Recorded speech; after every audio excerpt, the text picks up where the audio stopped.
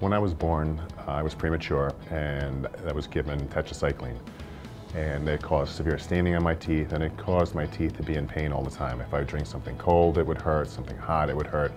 And I finally got to the point where I couldn't do it anymore. So I reached out to Dr. Romano. Dr. Romano did a full mouth reconstruction. So he basically ground down every tooth in my mouth and put a crown on it.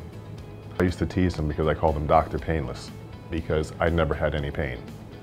He, the way he does his work and the experience that I had is, it was basically looking forward to coming to the dentist because he would make jokes and laugh and he puts you at ease. So I really had no pain through the whole process. Came out perfect.